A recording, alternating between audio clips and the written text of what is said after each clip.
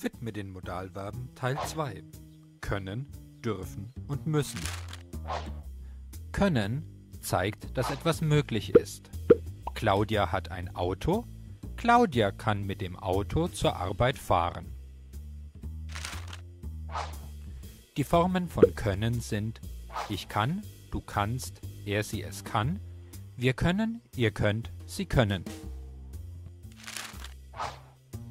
Können zeigt auch, dass ich etwas gelernt habe. Claudia hat einen Führerschein. Claudia kann Auto fahren. Claudias Auto ist kaputt. Claudia kann nicht mit dem Auto fahren. Claudia fährt heute mit dem Fahrrad. Hier darf Claudia mit dem Fahrrad fahren. Dürfen zeigt, dass etwas erlaubt oder legal ist. Die Formen von dürfen sind ich darf, du darfst, er sie es darf, wir dürfen, ihr dürft, sie dürfen.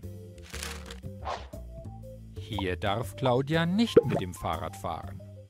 Nicht dürfen zeigt, dass etwas verboten ist. Müssen zeigt, dass etwas obligatorisch ist. An der roten Ampel muss Claudia stoppen. Die Formen von müssen sind ich muss, du musst, er sie es muss, wir müssen, ihr müsst, sie müssen. Weiter geht es mit Teil 3. Wollen, sollen, mögen, möchten. Wenn Ihnen das Video gefallen hat, lassen Sie mir einen kleinen Kommentar da. Mehr Videos finden Sie unter Grammatik mit Norbert. Liebe Grüße, euer Norbert.